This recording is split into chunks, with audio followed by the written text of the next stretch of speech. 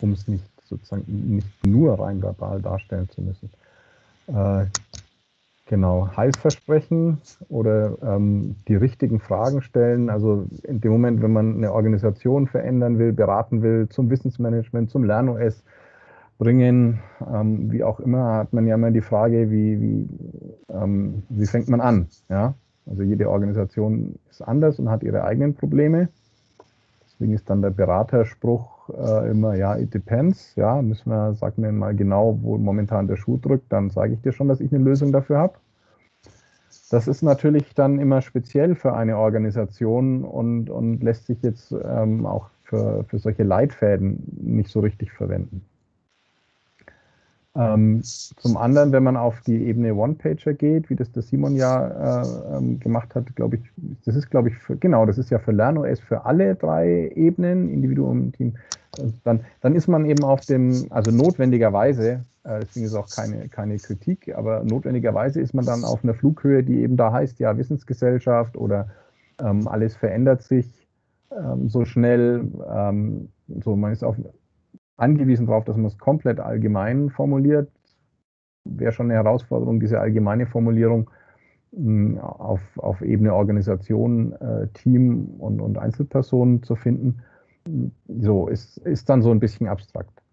Und die Frage, die wir uns da in, in na, vor ein paar Wochen nochmal noch mal gestellt haben, als wir uns die Leitfäden äh, angeschaut haben, war dann, naja, kann man nicht irgendwie eine Abstraktionsebene unterhalb äh, finden, also konkreter sein als ähm, VUCA-Welt, ähm, Wissensgesellschaft, ähm, alles ändert sich.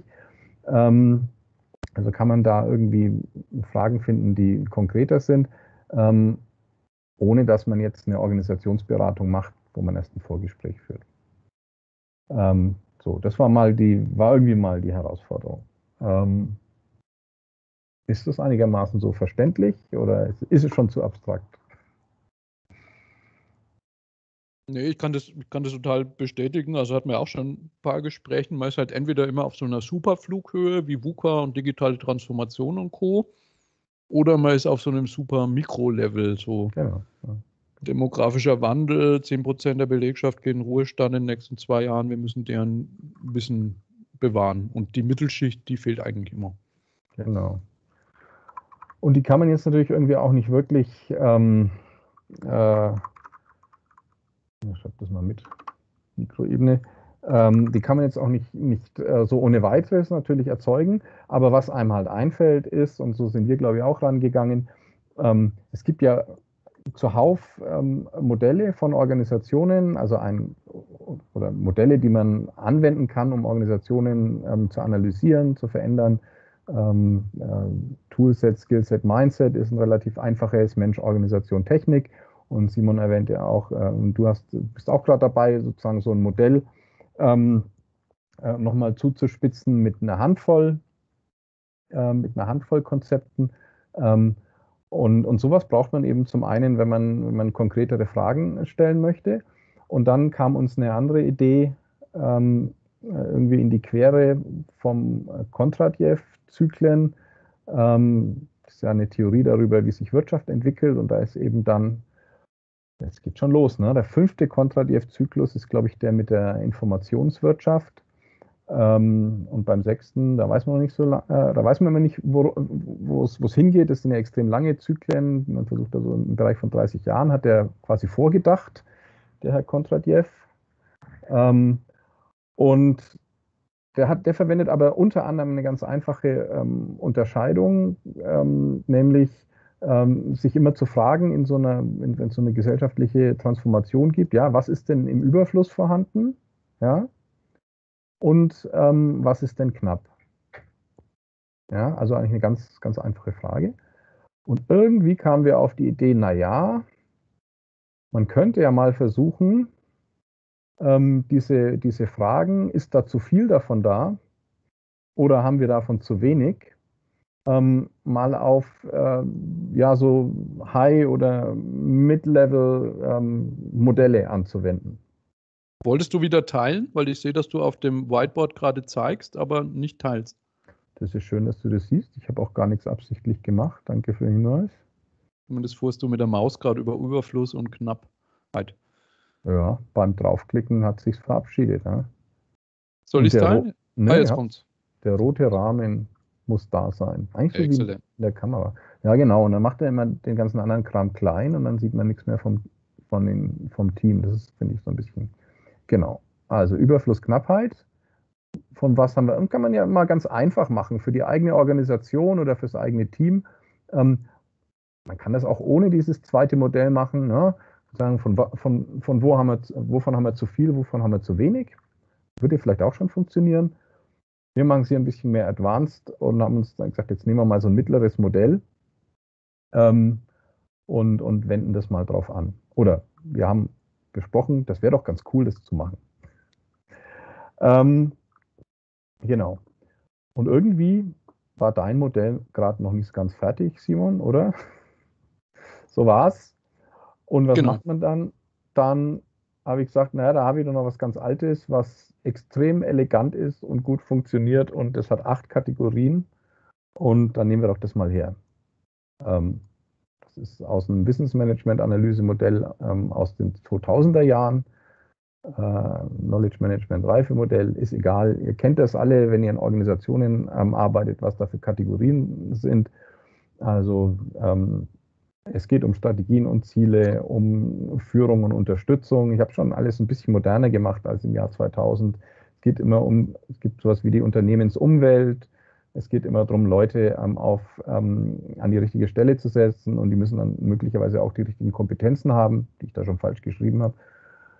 Ähm, das ganze, ganze Aufbauorganisation, was eigentlich immer so wahnsinnig wichtig ist, haben wir damals schon zusammengefasst, eigentlich unter einem Punkt, Prozesse, Rollen, Organisationen, also alle formellen äh, Regeln und so weiter. Es gibt so ein, zwei Kultur nicht zu vergessen und dann gibt es noch ein, zwei Sachen, die mehr wissensmanagementspezifisch sind. Also ähm, habe ich dann mal versucht, ähm, diese Frage, haben wir zu viel oder haben wir zu wenig, ähm, auf diese ähm, acht äh, Kategorien, die auch noch eine innere Logik noch haben, ähm, anzuwenden. Ähm, und es geht, da kommen dann am Ende 16, erstmal 16 Ideen raus. Ne?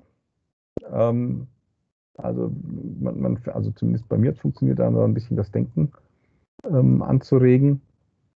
Ähm, und, und das könnten eben dann Fragen sein, die so Anfangs, Anfangswerte beschreiben. Jetzt gebe ich mal ein Beispiel. Für zu viel Strategie ja, ähm, ist mir eingefallen, unsere Strategie, also wir haben zu viel Strategie, sagt ja irgendwie keiner, aber man könnte zum Beispiel feststellen, unsere Strategie ändert sich zu oft. Ja. Ist irgendwie keine Strategie.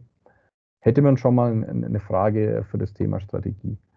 Ähm, oder zu wenig Strategie, irgendwie der Klassiker, unsere Strategie ähm, ist, also kennen zu wenig Mitarbeiter. Ne? So, soll ich nochmal was machen? Ein, nochmal eine, eine Kombination? Hat jemand eine Idee? Oder hat jemand jetzt schon, hat jemand jetzt schon mal selber im, im, im Kopf ausmultipliziert und hat schon eine Idee zu so einer, zu so einem, zu so einem Kreuzungspunkt? Ja, Prozesse wäre Ja. Bist du, bist du audiomäßig noch da? Ja, ja, ja. Ich überlege gerade, ich, Denkst ich überleg, wie, wie ich den Kreuzungspunkt formulieren würde. Also die, zu viel und zu wenig. Es wird ja viel kritisiert, dass ähm, man sozusagen, wenn man so rein in so einer Prozesskultur ist, alle ihr Gehirn abschalten und alles so Dienst nach Vorschrift oder sehr bürokratisch läuft.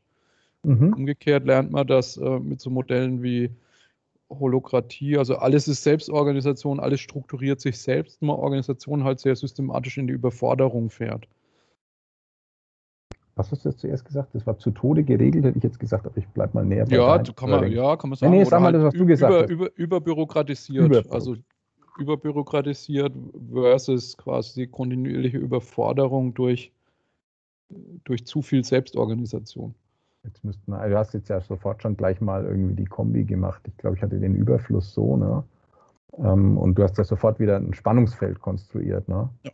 Also manchmal findet man auch gar nicht, ähm, also schon wieder Überforderung durch Selbstorganisation, genau. Wobei es jetzt, glaube ich, dann für eine, ähm, ich habe es extrem klein, ich tippe mal blind. äh, okay, genau. Also das hat schon mal funktioniert in deinem Gehirn. Vielleicht noch jemand anderes hat noch mal eine, eine spontane Idee.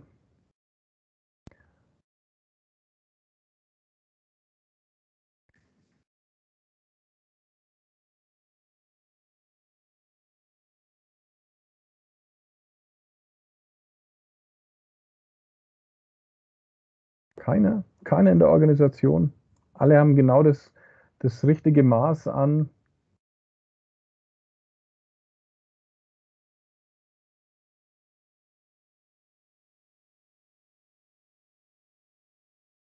Vielleicht, vielleicht, machst du noch mal ein Beispiel von dir da rein. Das ja, machen wir noch mal eins. Genau. Ähm, was habe ich genau, denn da? Das muss man mal sehen. Also, was habe ich denn da? Äh, auf, bei Leadership und Support ist ja auch immer schön ähm, Führung und Unterstützung. Jetzt habe ich es nämlich auf Englisch gemacht gehabt. Das, äh, machen wir es hier mal auf Deutsch. Bei Führung und Unterstützung habe ich halt, naja, klar, irgendwie äh, zu, äh, zu, äh, zu viel äh, zu viel Mikromanagement, ja, äh, durch mittlere oder First-Line-Managers, ne, ist klar, zu viel, wie zu viel Mikromanagement. Ähm, und zu wenig, habe ich mir was zu wenig ist? ja, zu wenig könnte man sagen, ähm, äh, die machen administrative Jobs, aber es ist eigentlich keine richtige Führung. Also da kann man so ein bisschen die, die Unterscheidung zwischen, wenn man die bemühen will, zwischen Leadership und Management ähm, ähm, ranführen, anführen. Was wie Orientierungslosigkeit dann? Ja, genau, genau. Orientierungslosigkeit, quasi diese zu knapp Seite. Ne? also man muss ja auch nicht äh, bei allem was finden. Da, ähm, manchmal dauert es ein bisschen länger und äh, es ist, ist, ja auch klar, wenn man das ausmultipliziert, so quasi ähm, ähm, oh ja, es ist Tippen und Sprechen schwierig gerade. Ähm, wenn man das, ähm, dann, dann, hat man es halt durchdacht und, und, findet halt da nichts. Ja. Man, das geht jetzt ja auch nicht nur mit diesem Modell, ähm, sondern es geht halt auch mit natürlich mit anderen Modellen. Ne? Es ging auch mit einer zweiten Unterscheidung. Mhm. Ähm, wobei es, ich hatte dann so in, in, der Vorbereitung im Kopf, dachte mir, naja, wenn ich jetzt Mensch, Organisation, Technik nehme, also diese ganz knappen Modelle, ja, ja. Äh, dann könnte es sein, dass es schwierig wird. Ja. Weil, weil die einfach zu High-Level sind, also zu viel Mensch, zu wenig Mensch, ja, selbst da fällt einem vielleicht was ein. Ja. Ähm, aber es scheint auch so zu sein, dass man das Modell, und es muss ja nicht nur eins sein, was man dann gegen diese Unterscheidung hält, muss halt schon auch ein bisschen Konkretisierungsgrad haben, sprich äh, ein paar, ein paar Konzepte haben. Ja. Also ich hatte gerade den, den Link zu diesem äh, LernOS für Organisationen Canvas mal gepostet. Da wir versucht, das ein bisschen dadurch zu umgehen, dass das dann immer kombiniert ist. Also dass zum Beispiel Mensch und Fähigkeiten ist zusammen ein Feld. Ne, wo man dann nicht sagt, man hat zu viel oder zu wenig Menschen, sondern man hat halt zu wenig Menschen mit der Fähigkeit, Data Science zu betreiben, zum Beispiel. Oder zu viel Menschen mit der Fähigkeit, äh, Verbrennungsmotoren zu entwickeln. Da wäre es jetzt schon ausmultipliziert. Nee. Oder wie? Nee, nee, nee, ist auch einfach nur das Feld, ne? das Feld aufgemacht. Menschen und Fähigkeiten. Ah ja, genau. genau. Ja, ja, gut. Also das sind ja wahrscheinlich, ist man da relativ nah bei den ähm, relativ nah bei, bei so einem Abstraktionsniveau von so einem, von so einem KMM. Das kriege ich jetzt gerade nicht noch mit rein. Okay. Ja. Genau. Genau. Aber das wäre bei dir unten so dieses Staffing und Kompetenzen, ne? Das genau. würde wahrscheinlich ja. ähnlich sein. Ne?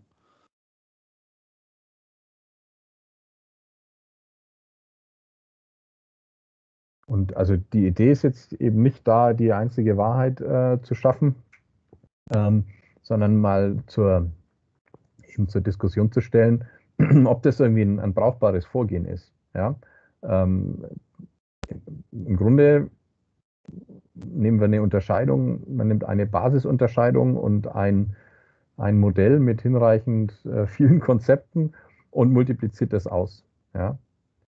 Ähm, und, und guckt, ob, also so wie morphologischer Kasten ist ja eine, eine Kreativitätstechnik, ähm, und, und guckt, ob da, äh, ob da irgendwie was Sinnvolles rauskommt. Äh, und die Hoffnung ist eben, dass ähm, da müssen wir mal vielleicht liefern im LernOS-Kontext, die wir noch nicht, ähm, dass wir mal solche Fragen äh, eben ausformulieren, abstrakt, generell, aber das lässt sich natürlich auch für den eigenen Firmenkontext oder fürs eigene Projekt machen. Ja. Um dann ja. eine Strategie oder einen Weg zu entwickeln, wie man quasi an das Thema was sind eigentlich die wichtigsten Handlungsfelder für uns, um Lernderorganisation zu werden oder professionelles Wissensmanagement zu betreiben, rauszufinden. Ne? Das wäre genau. war ja auch in KMMM damals so die, die Idee, ne, wenn ich eine gewisse Ressource auf, auf Wissen und Lernen verwende, was sind denn die Felder, wo ich die am, am dringendsten brauche? Genau, wobei das war ja eher so eine klassische Analyse. Man hat eigentlich nur geschaut, ähm, wie macht das jetzt denn? Und natürlich, wenn, wenn Leute erzählen, wie es in der Organisation läuft, ähm, ähm, dann ähm, erzählen die natürlich auch, was nicht gut läuft. Und insofern haben wir da auch immer ganz gute Ansatzpunkte für ein, für ein Wissensmanagement gefunden. Oder für, also im Grunde ist ja die Frage, hast du ein Problem und hat es irgendwas mit Wissen zu tun? Ja? Ansonsten da wenn ich jetzt als allgemeiner Berater unterwegs bin, dann verkaufe ich alles, aber mit dem Anspruch, dass man da einen bestimmten Fokus bedient, war natürlich dann schon die Frage, hat das was mit irgendwie mit äh, Wissen, Wissensbasis, Wissensteilen äh, zu tun. Mhm. Ähm, ähm, aber diesen Zielaspekt, den hatte das KMM halt nicht. Dann gibt es die Wissensstrategie, da ist dann eher so die Frage, ja, an welchem Thema hakt es denn? Ja, aber, äh, und das ist auch okay. Und eigentlich braucht man beides. An welchem, an welchem Wissensgebiet hakt es denn und, und wie, wie läuft es denn in der Organisation? Und dann kann ich mir so eine, so eine Intervention ähm, vielleicht ausdenken. Wobei ich glaube, jetzt diese Idee, eine Basisunterscheidung auf so ein mittelkonkretes Modell anzuwenden, die ist eben schon nochmal anders. Die ist halt schon mal ein bisschen konkreter. Ja. ja das würden wir uns damit nicht beschäftigen. Jetzt es echt cool, wenn jemand eine, eine coole Idee hätte an irgendeinem Kreuzungspunkt. Oder auch wenn jemand da sitzt mit vielen Fragezeichen im Gesicht, einfach genau. kurz Mikrofon auf und sagt, ich habe überhaupt keine Idee, wo, worüber ihr da gerade redet. Wir brauchen den ersten äh, Schweigensbrecher. Oder Brecherin. Wahrscheinlich sind alle noch äh, im Wald und äh, einen Kaffee trinken. Ja, die Angelika hat die Hand gehoben. Die Hand gehoben. Also äh, ich wollte jetzt mal nachfragen, weil ich finde das sehr interessant und das Modell auch ziemlich cool. Wollt ihr jetzt zu diesen einzelnen Punkten Kultur, Strategie und Ziele solche Überfluss- und Knappheitskriterien erfassen? Jetzt hier in der Session oder ist das was, was ja, nicht, ihr... Wir hatten nicht den Gedanken, dass wir das sozusagen durchdeklinieren, um ein finales Ergebnis zu bekommen, sondern uns hat angetrieben, was können wir den Leuten als Handreichung mitgeben, um in einer Organisation zu argumentieren, warum, warum solche Ansatzpunkte, Wissen und Lernen zu systematisieren, wichtig sind? Mhm. Also was ist die Herangehensweise? Ne, weil man hat ja immer, weiß ich nicht, wenn man sagt, so ja, die Mitarbeiter gehen in den Ruhestand, wir müssen das Wissen bewahren, dann nicken immer alle. Und wenn man dann sagt, ja, wir könnten das und das machen, passiert dann oft nichts. Mhm. Ne? Mhm. Äh, und so ähnlich ist es mit digitaler Transformation und Internet mhm. der Dinge und Wissensgesellschaft auch. Ne, und da haben wir uns halt gefragt, was ist so ein, ein, Handwerkszeug, mit dem jemand, der jetzt sagt, eigentlich müssten wir mit unserer Organisation in LernOS für Organisationen einsteigen, verschiedene Leute überzeugen und gewinnen, vielleicht mhm. in so eine Koalition des Lernens einzutreten und das zu systematisieren. Aber wo kommen die Argumente her? Zeige mhm. ich denen einfach eine McKinsey-Studie? Oder habe ich eben so einen Ansatz, wie jetzt so, so ein Modell mal zu spiegeln an den, was ist denn in meiner Organisation zu viel oder zu wenig und daraus ein angepasstes Argumentation, Argumentarium zu bekommen. Mhm. Aber die Frage war natürlich schon ganz sinnvoll, also oder genau nicht sinnvoll, sondern genau richtig. Uns interessiert genau Feedback, also ob das überhaupt eine gute Idee ist, das so zu machen, ja. Ähm, äh, also ähm, ob ihr euch das vorstellen könnt. Ähm, äh, also ob es überhaupt verstehbar ist, ob ihr euch das vorstellen könnt. Ähm, hier werden wir es bestimmt nicht ausdeklinieren können, hat der Simon ja schon gesagt. Vielleicht habt ihr auch noch, ähm, auch noch Modelle, wo er sagt, ich möchte es mit, mit der Unterscheidung ähm, äh, ähm, nicht äh, Überfluss knapp, sondern mit einer anderen Unterscheidung und einem anderen Modell machen. Auch das wäre cool. Das wäre ja auch schon eine Rückmeldung, die eigentlich zeigt, dass es irgendwie funktioniert, was mhm. wir uns da ausgehört haben. Ich kann mal noch was was Zweites zeigen, dann weiß nicht, wer gerade ansetzen ja, wollte. Wollte die Angelika noch was sagen dazu? Vielleicht. Nee, nee, alles gut. Ich äh, höre mal noch ein bisschen zu. Ist, äh, da muss ich erst drüber denken. alles klar, danke. Also der äh, Moment teile ich schon. Seht ihr was? Seht ihr den Canvas? Ja. Also das war so die äh, Carstens K-Triple-M Modell und die Erstellung von dem Canvas war so ein Ding, wo wir überlegt haben, was für Fragen gibt man Leuten mit. Äh, ein zweites, was hier drin ist, ist aus dem, ähm, aus dem Wissensmanagement Standard äh, ISO 30401 äh, und dem begleitenden Buch dazu. Die nutzen die Metapher, dass ähm, dass es mit Wissensmanagement man sich eigentlich so vorstellen kann wie in so einer Küche. Äh, man hat einen Chefkoch, der bestimmte Skills hat und ähm, der bereitet dann was zu und die anderen äh, essen das. Und es geht darum, eine Atmosphäre zu erzeugen, in der Wissen äh, entsteht und gedeiht. Da gibt es dann den Besitzer des Restaurants und so weiter. Also es gibt eine ganze Story dazu. Äh, aber da werden eben auch in dem Canvas quasi hier so einzelne äh, Themen benannt, zum Beispiel hier oben Rollen oder Prozesse oder Technologie und Infrastruktur. Und die gehen jetzt mit standardisierten Fragen ran. Also das weiß nicht, ob ihr es lesen könnt. Ich kann gleich den Link noch in den Chat posten. Na, da steht dann bei, zum Beispiel bei Prozesse drin, uh, do we have defined, documented and approved processes and methods? Oder bei Technology and Infrastructure, how well do our technology infrastructure and physical architecture support KM needs?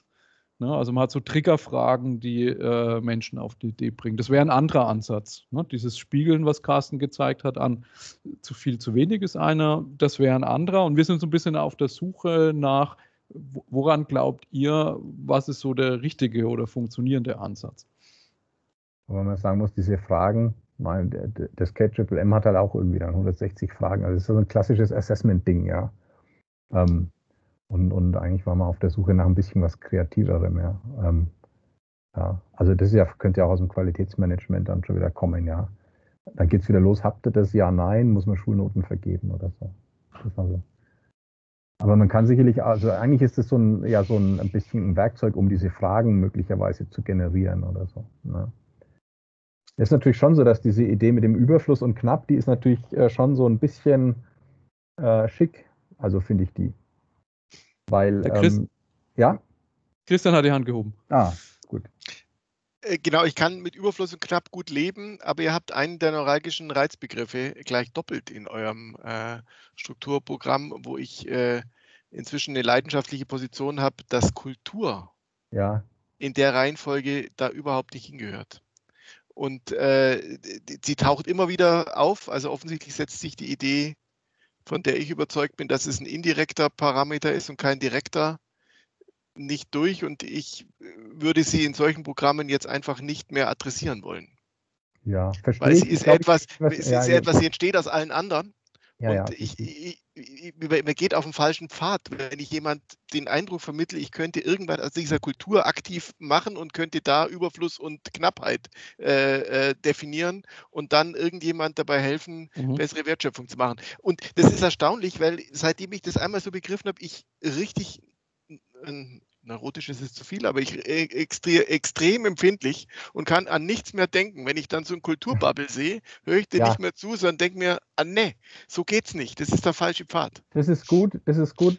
Äh, äh, äh da muss ist jetzt irgendwie schlecht, oder? Aber es ist gut, es ist gut, wenn du damit deinen Frieden machst. Ich, ich, kann, das, ich, kann, das, ich kann das gut verstehen. Ich, ich schicke dir den, den Link ähm, äh, äh auf, auf die Dissertation, auf die Stelle in der Dissertation. Ähm, du hast äh, völlig recht, ja. Ähm, ja, guter Punkt. Also das Ding heißt ja irgendwie auch Collaboration und Culture in dem Urmodell und es, ist, es kommt eigentlich ins Modell als Spiegelbild zur formellen Organisation. Ne? Ja. Aber ähm, ich gebe dir völlig recht, dass, ähm, also wenn man jetzt sofort auf die Interaktion, also äh, Quatsch, auf die In äh, Intervention schaut und sagt, was kann ich denn da machen? Dann musst du das sicherlich komplett, ähm, also man kann nicht die Kultur nicht nicht ändern, aber du kannst sie halt auch nicht so gesteuert ändern, ja. Ähm, und das hast du völlig, äh, hast du völlig recht. Nichtsdestotrotz, was ist, schauen wir mal, was ist denn bei mir rausgekommen? Ich habe mich dem irgendwie da gestellt. Was ist denn das, wenn man auf die Kultur 13, 14, ähm, da habe ich geschrieben, too much culture is nonsense, ja. Wir haben zu viel Kultur. Ist, ist auch betriebswirtschaftlich ähm, natürlich Quatsch. Ne? Also die, der hat keine Kultur, sagt man, wenn einer irgendwie sich beim Essen nicht ordentlich aufführt. Aber rein betriebswirtschaftlich, Managementlehre, ähm, hast du immer eine Kultur. Das ist ja auch das, was du meinst. Ähm, Aber man, könnt, man kann zum Beispiel sagen, unsere Kultur ist irgendwie nicht so, also nicht so durchgängig. Es gibt diese äh, starke und schwache Kulturgeschichte. Oder man könnte sagen, unsere Kultur irgendwie ist, ist gegen, ähm, äh, gegen Lernen irgendwie. Wir haben Kulturelemente bei uns, ähm, äh, die sozusagen, ja, die sind extrem lernen. Die Kultur ist so, wie das System intelligent sie gemacht hat. Das heißt, es gab irgendeinen guten Grund, ja, das, das die Art und Weise, wie wir uns verhalten, sinnvoll war. Ja, war das, ja. was zu einer und und äh, es darüber zu probieren, äh, lenkt genau lenkt genau. auf den falschen Pfad und äh, es erstaunt mich, auch in deinem wunderbaren Bild von Simon äh, ja. ist es immer drin und Collaboration hat eine ganz andere Qualität wie Kultur. Also wenn ich da Collaboration and Culture reinschreibe, dann hat entweder der Kollege einen ganz anderen Kulturbegriff wie den, den ich mir angeeignet habe, oder äh, es ist ja nur ein kleines Element, die Kollaboration im Rahmen eines äh, Kulturbildes. Ja, ja. Also ähm, da, können wir, da können wir gerne mal, mal ganz kurz, ja, also ich, ich würde versuchen, äh, hier mal ein bisschen zu vermitteln, weil ich, weil ich glaube, wir haben gerade schon demonstriert, dass man über Kultur hoch und runter diskutieren kann. Ja. Ähm, wenn man jetzt so ein bisschen ans Vorgehen denkt, äh, würde ich vorschlagen, das äh, in einem Vorgespräch mit dem entsprechenden Sponsor mal abzuklären, wie, wie seine Haltung dazu ist und dementsprechend dann halt eben den Kulturaspekt mehr oder weniger zu betonen oder äh, rein oder rauszunehmen. Wir haben, wir, also haben ja kein, wir haben ja keinen Sponsor sozusagen an der Stelle. Unser Sponsor ist ja irgendwie ein möglichst, äh, ein möglichst äh, scharfes Nachdenken. Ja? Wo, wobei wobei ja. man sagen muss, ähm, äh, schon witzig. Also wenn man eben dieses Ausmultiplizieren äh, probiert, ne, äh, äh, das ist schon klar. Es verhält sich, man merkt das auch dabei, es verhält sich anders. Also zu viel Kultur macht keinen Sinn, zu wenig Kultur macht auch keinen Sinn. Ähm, aber man, man kann sich eben andere Fragen stellen. Ist die Kultur vielleicht lernavers oder so? Ne? Also mir sind gerade zwei Kleinigkeiten noch eingefallen. Zum einen hat mich die Diskussion gerade stark an deinen ehemaligen Kollegen, den Josef Hofer Alpheis, erinnert. Der hatte nämlich im Wissensmanagement-Magazin mal einen schönen Artikel, äh, wo er eben genau zu dem Aspekt geschrieben hat, wenn man Berater zum Thema Wissensmanagement im Haus hat und das Erste, was die sagen, ist, um Wissensmanagement aufzusetzen, braucht man eine bessere Kultur, soll man die sofort rausschmeißen. Genau die aus Kultur dem Aspekt, weil das, so, die, nein, die, die, Berater, die Berater rausschmeißen. Na, ne, und ähm, ja, ja. wir haben in dem, in dem Canvas für Organisationen haben wir das Feld äh, Kultur und Werte genannt, weil wir für das Kultur, für den Kulturbegriff der Organisation das Drei-Ebenen-Modell von dem Schein verwenden, Edgar Schein. Ähm, was hier visualisiert ist, ich habe es gerade mal geteilt, äh, das macht man oft mit so einem Teichrosenmodell oder Linienmodell. Ne, man sagt, man hat unten die Wurzeln der Pflanze, das sind so Überzeugungen und Prinzipien. Also davon bin ich überzeugt, das ist meine Haltung zu irgendwas. Dann hat man die Stiele, die, wenn ich ins Wasser schaue, sind die schon so ein bisschen sichtbar, aber verschwommen. Das sind so Einstellungen und Werte. Und das, was über der Oberfläche sind, diese Blätter, das ist das sichtbare Verhalten und Artefakte. Ne? Und äh, das kann man jetzt auf eine Gesellschaft beziehen. Also, was weiß ich, wenn ich so ein Artefakt habe wie ein äh, Arbeitsamt oder ein Amt, bei dem ich Hartz IV beantragen kann, dann ist das ein, eine, eine Sichtbarmachung von dem Wert der Solidarität und eine bestimmte Haltung oder ein bestimmtes Menschenbild ist dahinter. Und über den Weg kann man ja schon sagen, wenn mir der wenn mir Offenheit wichtig ist in der Organisation, dann kann ich drauf gucken, wie Bosch das macht, wie viel Prozent meiner Communities in der Organisation mhm. sind offen ja. und wie viel sind geschlossen. Und das ist wirklich das sichtbare Artefakt. Oder wie viele Dokumente, Christian, die du erstellst, sind auf deinem OneDrive und wie viel sind public. Na, ne? und dann kann ich sozusagen darüber auf deine, auf deine Werte und deine Überzeugungen rückschließen und versuchen quasi Verhalten oder Artefakte zu ändern. Oder sowas wie äh, Open Door Policy, ne? offene Büros als, als Artefakt. Mache ich das, weil es hip ist oder mache ich das, weil ich überzeugt davon bin, dass offener Austausch und ich kann jeden jederzeit ansprechen wichtig ist. Ja, deswegen würde ich Kultur nicht ganz rausdefinieren, aber es ist einer der schwierigeren Felder, äh, da reinzunehmen und damit etwas zu tun. Naja, wenn man halt vor allem, wenn man hingeht und sagt, ich möchte da direkt äh, Maßnahmen dran ansetzen, weil das ist ja der einzige Kritikpunkt. Das ist eher eine abhängige Variable und die reagiert träg. Ich würde auch immer behaupten, aber ähm, dass es schon ähm, Akteure gibt in der Organisation, die eine Kultur leichter ändern können als andere. Ne? Wenn da ähm, euer CEO nämlich in Jeans oder was auch immer auftritt, gut, dann kommen alle anderen auch in Jeans plötzlich. Hatten wir auch schon. Aber also es gibt schon Leute, die haben, haben einen speziellen Zugriff, also die können eben über diese oberen Ebenen von dem Schein über verändertes Verhalten, und zwar glaubwürdiges und dauerhaft verändertes Verhalten, kannst du eine Kultur schon ändern. Aber es ist klar, es ist die trägste Variable und ich könnte auch einen Abend lang mich aufregen drüber. Also vielleicht machen wir da mal zusammen was. Also eine müssen, wir wahrscheinlich ein paar, müssen wir wahrscheinlich ein bisschen was einwerfen vorher, weil sonst. Hast du ähm, deine Hand noch oben, Christian, ja, ja, oder nein, schon wieder? Nein, nein, nein ich habe sie, mal, ich hab sie, hab sie wieder unten gehabt. War keine Absicht. ich, hab, ich folge Stefan mit seiner äh, Lösungsformel. Äh, äh, und es gefällt mir sehr wohl, und ich finde es so spannend, es gibt ja auch Beratungsorganisationen, die ausdrücklich sagen, über diese Kulturanalysen kriege ich Impulse. Ähm, und ich bin mir aber eben nicht sicher, ob es nicht schon von vornherein etwas ist, wo ich an anderen Stellen, also ich habe hm. Quadranten, die viel wirksamer sind, ja. äh, äh, für Transformationsprozesse anzustoßen und äh, weil gute Werte haben sich aus einem guten Grund rausgebildet. Und wenn der Grund nicht mehr da ist, muss ich an diesem Grund suchen und ihn nicht über die Wertanalyse äh, rauszukriegen. Äh, aber äh, wir können es verkürzen, Stefan hatte schon recht. Das äh, äh wollte euch nur äh, teilhaben lassen, dass ich äh, bei sowas einen gewissen äh. Und also, ihr wolltet ja, ihr wolltet ja, ihr wolltet ja, ja Diskussionen, deswegen. Ja. Was, ist, was ist ein Quadrant, wo du sagst, der eignet sich besser für eine, ähm, ähm, um da zu intervenieren, ist auch schwer Fremdwort, ne? um da Maßnahmen dran anzusetzen? Ja, Prozesse, Organisationen, Rollen, das ist das. Okay wo ich das Gefühl habe, äh, du musst am System, musst die Regeln im System ändern. Okay. Und vielleicht hilft dabei, eine Kulturwertanalyse rauszukriegen, was du ändern willst. Aber in Wirklichkeit mhm. musst okay. du dann gucken, warum haben sich die Werte so gebildet?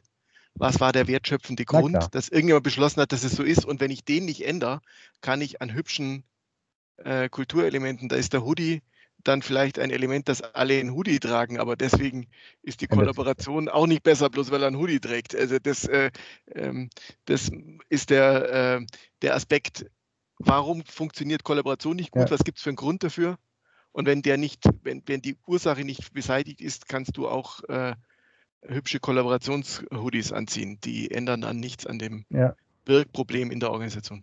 Das, aber, das heißt, und wäre dann so ein Beispiel, also wenn man jetzt mal bei Organisation bleibt äh, und das an dem Cotter Dual Operating System spiegelt, dass man sagt, äh, zu viel wäre, wir sind zu viel links in der Hierarchie in unserer äh, Tagesaufgabe, in unseren Projekten unterwegs, haben zu wenig Freiraum, äh, Netzwerk, Communities, äh, mal auf ein Barcamp zu gehen, uns offen auszutauschen, Meetup zu machen. Das wäre jetzt so eine Logik in Carstens Raster, wie man mit diesem zu viel, zu wenig an der Dimension Organisation ansetzen könnte. Ja, ich kann euch, mich bewegt seit zwei Tagen, ist ein ganz neues Phänomen in meiner Organisation.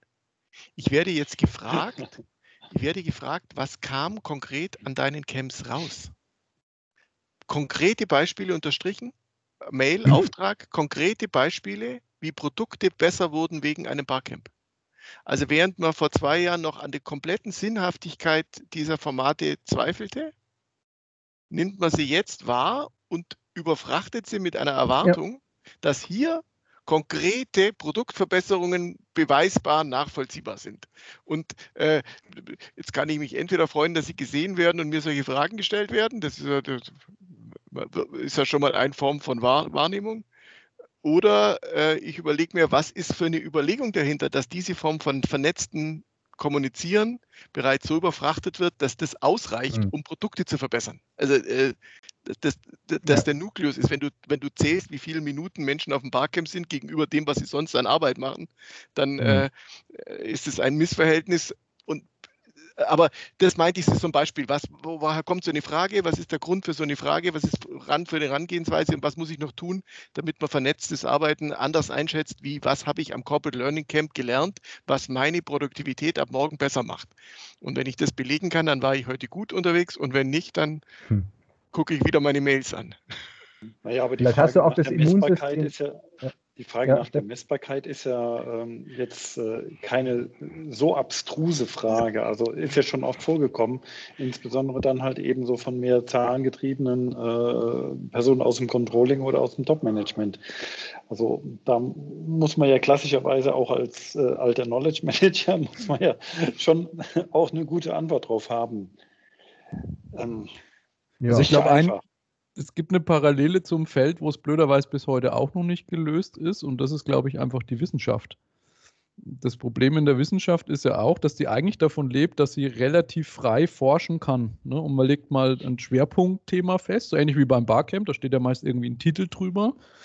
Aber du kannst eben darunter nicht mehr sagen, was kommt da genau raus und forschst du vielleicht drei Jahre in eine völlig andere Richtung. Und in Christians Grafik vorhin in der Session stand das Wort Experiment.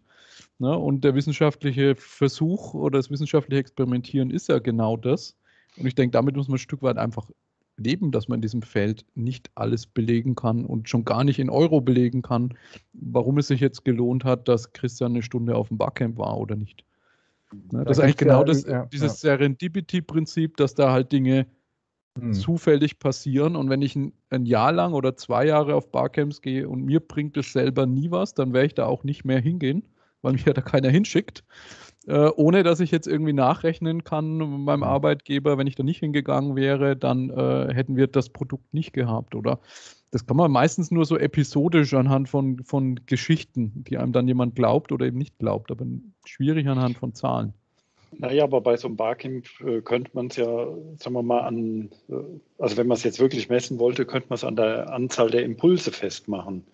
Ja, also ich also persönlich merke, merke, bei Barcamps, äh, dass ich immer sehr viele Impulse mitbekomme, während ich äh, insbesondere im Vergleich zu, zu, zu, klassischen Veranstaltungen in der Vergangenheit, da bin ich dann nachher mit einem Thema nach Hause gegangen und äh, habe aber da vielleicht äh, 20 Kilo Papier dazu gehabt, aber äh, eben äh, weniger Kontakte. Also ich denke mal, wenn man ein bisschen in die Tiefe geht und, und nachdenkt, kann man hier schon auch ja, Kennzahlen definieren, die man dann halt eben auch über eine Befragung der, der, der Teilnehmer eines, äh, eines Barcamps, da könnte man dann äh, sicherlich schon auch ähm, ja, greifbare Werte äh, jetzt hinsichtlich der Messbarkeit äh, wie, ähm, äh, generieren. Man kann es bei auch vorstrukturieren, wenn man weiß, dass das die Metrik ist, auf die also auf, die, ja gut, ist natürlich die Frage, ob man jetzt das Barcamp wieder nach, nach speziellen Fragern ausrichtet, aber wenn, wenn jetzt die Herausforderung, da hätte man schon eine strategische Richtung, wenn die Herausforderung der Organisation ist, neue Produkte zu entwickeln, ja, dann ja. spricht auch nichts dafür, äh, dagegen, ähm, so ein Barcamp ähm, so ein bisschen ähm, dann in die Richtung zu lenken. Also kann man ja transparent machen am, am, ähm, am Anfang, dass, dass man sagt, naja, so wie ich das jetzt beschreibe, bekomme ich höchstwahrscheinlich, äh, denken die Leute eher über Produkte nach. Ja, ähm, so, also beim, beim Audi Barcamp, äh, da hatte uns zwar niemand nach Zahlen gefragt, aber in Vorbereitung, dass mal jemand kommt, haben wir das im Orga-Team so gemacht, dass wir uns im Nachgang den Sessionplan angeguckt haben. Das waren immer 20 Sessions und geschaut haben, welche zwei oder drei Sessions haben Potenzial dafür, dass da im Nachgang was Großes draus wird oder eine große Story draus wird. Und die haben wir nachverfolgt im Sinne von, gefördert, dass daraus etwas entsteht. Ne? Und was, was sichtbar ist und was mhm. jeden überzeugt, dass diese Aktivität cool. einen Wert hat. Ja, und da ist zum Beispiel der, ähm, die Audi-Tauschbörse draus geworden, wo ein Team innerhalb von zwei, drei Monaten nach dem Barcamp auf Basis von einem schon bestehenden Tool so eine Art eBay-Kleinanzeigen gemacht hat, weil die Hypothese war, dass äh, jede Abteilung bestellt sich Ordner oder mal ein Messgerät oder hat Laptops übrig. Äh, die verschimmeln irgendwo im Schrank und jemand anderes bräuchte das eigentlich, bestellt es neu und da geht ein Haufen Geld verloren. So, und diese Tauschbörse hat, glaube ich, in den sechs Monaten, nachdem sie live waren, äh, ein Mehrfaches von dem Geld eingespart, was nach einem internen Verrechnungssatz der Tag äh, gekostet hat von den 120 Mitarbeitern, die auf dem Barcamp waren. Na, und so kann man, glaube ich, schon an so einzelnen Geschichten oder so, so Wert nachweisen, ohne das jetzt irgendwie über so ein ganzes Barcamp ausrechnen zu können. Mhm. Ja, wie kamen wir jetzt auf das Thema Metriken? Das K-Triple-M wurde eigentlich entwickelt, um genau dieses Metriken-Thema zu umgehen im Jahr 2000. ähm, weil, weil wir wurden das auch immer gefragt, also 2000 schon, ne? und dann haben wir gesagt, das ist jetzt irgendwie, äh, wir wollen es irgendwie messen. Ne? Messen heißt ja abbilden auf Zahlen. Ähm, wir haben gesagt, wir, wir wollen mal irgendwie den Zustand, also klar, kann man das auf Zahlen dann abbilden. Dazu muss man halt mehrfach messen mit so einem Assessment. Ähm, aber eigentlich interessiert uns eher der Zustand des Wissensmanagements oder den zugrunde liegenden Prozessen oder so. Ähm, ja, das ist immer so eine Sache mit den Zahlen. Zahlen haben halt ihre Attraktivität dadurch, dass sie wahnsinnig, wahnsinnig verdichten. Ja? Also ich habe eine, eine Menge an Alltagsphänomenen und das verdichte ich dann auf eine Zahl. Und das ist das Attraktive. Der R-Wert, der R-Wert. Ja, was auch immer. Oder ich frage auch in der Organisation, ist auch legitim. Wenn, wenn ich eine Organisation habe und ich kenne die nicht und, und ich möchte mir irgendwie vorstellen, was es ist, dann frage ich natürlich ja, äh, wie viele Mitarbeiter betrifft es denn, was du da vorhast, weil es eben einfach dann erfahrungsgemäß äh, im, im, wirklichen Transformationsleben Unterschied macht, ob man irgendwie drei Leute irgendwie verändern will oder 30.000. Ähm, äh, also insofern sind Zahlen schon eine, eine, coole Sache, aber, aber sie sind eben wahnsinnig präzise durch ihre, durch, durch ihre Verdichtung. Ja. Und, und wir reden über hochkomplexeste Sachen. Wir wollen nicht nur einzelne Menschen verändern, eh schon schwierig genug, sondern gleich ganze Organisationen. Und, und da, da gibt es schon immer geeignete Zahlen, aber wahrscheinlich keine allgemeinen. Ähm, und ich muss fair sein, ich wurde gar nicht nach einer Zahl gefragt, sondern nach einem konkreten Beispiel, was ja ah, viel immerhin. schöner ist, auch im Sinne, im Sinne einer, äh, da kann ich auch eine Story machen. Ähm, gemein ist natürlich, dass äh, ich nicht so umsichtig war, äh, um vorher schon darauf vorbereitet, eine Storytelling-Sammlung aufzulegen. Äh, insofern ähm, bin ich jetzt auch nach der Session vorbereitet, dass ich zukünftig stärker darauf achte, dass diese output-orientierten, was hat jemand davon? Und mein Eindruck ist, dass wenn Menschen, die eine hohe freiwillige Chance haben zu entscheiden, wie sie ihre Arbeit organisieren, auf sowas kommen, dann ist das für mich Indiz genug, dass es eine sinnhafte Form von Kommunikation darstellt. Die Bedingung ist aber natürlich nicht immer gegeben. Insofern gilt es an der zu arbeiten, weil viele eben Determinanten haben, die nicht frei entscheiden lassen können.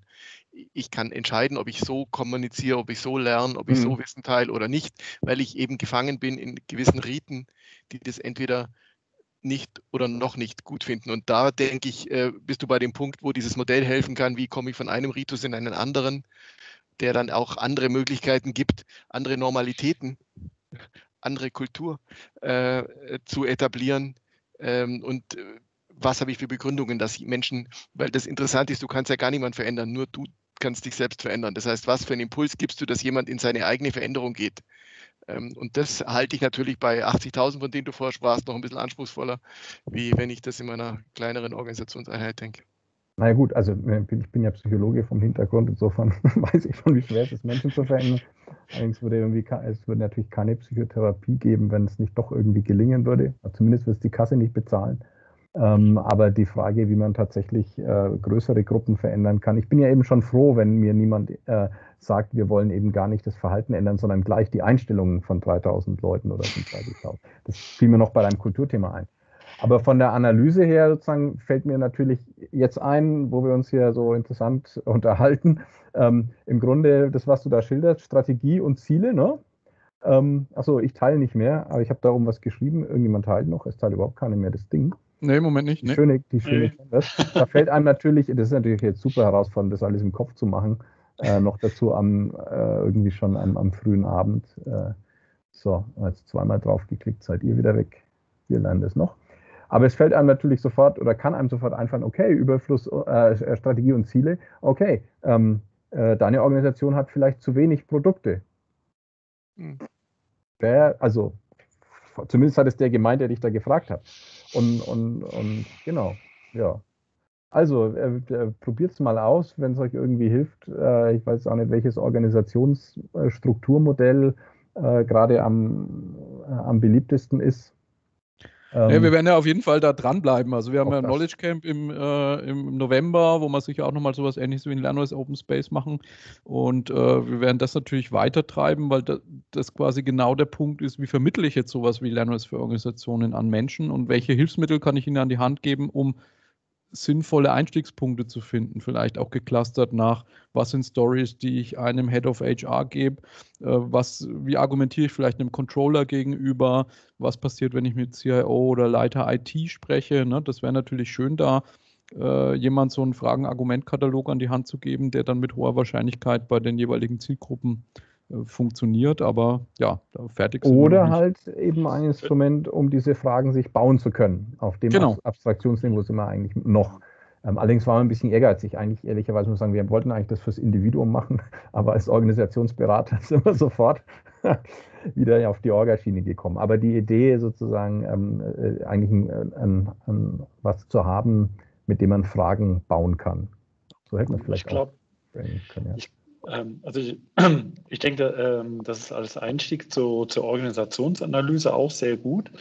Also was mir, mir jetzt noch ein bisschen fehlen würde, wäre ähm, gegebenenfalls optional dann halt eben auch nochmal so ein bisschen äh, die Umfeldanalyse. Also mhm. ähm, mhm. wie, wie ist diese VUCA-World äh, definiert äh, aus Sicht der Organisation, mit der man hier arbeitet?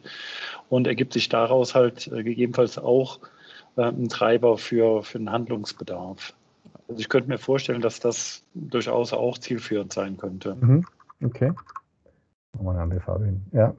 Weil hier haben wir ja jetzt primär nach innen geschaut. Ja. Naja, ja, ein, und, ein, ein und zur Ehrenrettung, zur Ehrenrettung hat das Ding ein Feld. Ja.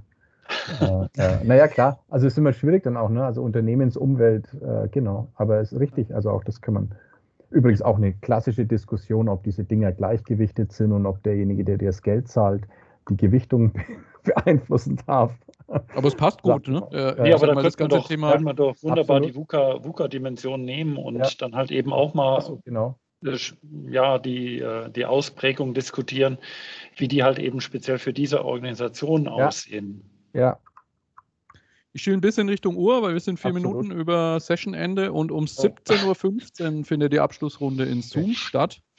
Also ich würde an der Stelle sagen, erstmal euch allen vielen Dank. Äh, wir haben alles recorded, werden alles auch nochmal fleißig nachhören und nachbereiten. Und äh, wer Lust hat, da auch ein bisschen weiter mitzudenken, das wird sicherlich auch an der Session-Dokumentation in Connect quasi weitergesponnen äh, als Idee und weiterentwickelt und dann auf zukünftigen Veranstaltungen auch wieder vorgestellt. Aber euch allen erstmal vielen Dank für die anregende Diskussion.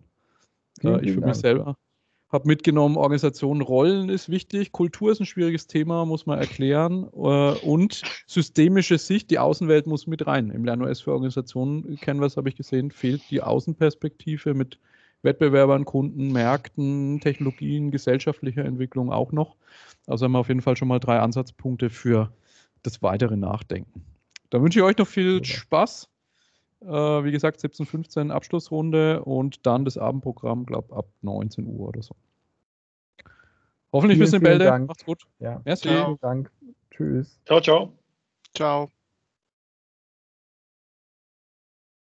So, dann muss ich hier mal auf Aufzeichnung beenden. Gute Sache.